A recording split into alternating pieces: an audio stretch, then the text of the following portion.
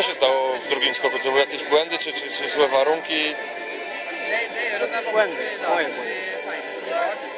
To znaczy, to, to już, czy za wcześnie na analizę? Nie wiem, czułem, że zepchnęłem. To nie był dobry skok. No ty też dostałeś bardzo niskie. Utrzymałem go do końca i przez to...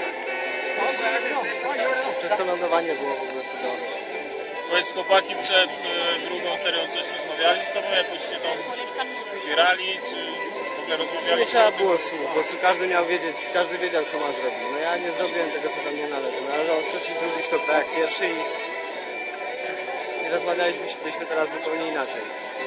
Myślę, że taki nieudany konkurs, yy, wiadomo nie w tej chwili, ale jutro, pojutrze wyzwoli w tobie dodatkową sportową złość przed konkursem na dużej skoczni, czy, czy, czy jednak ta, ta stracona szansa będzie gdzieś tam siedziała w głowie? محمد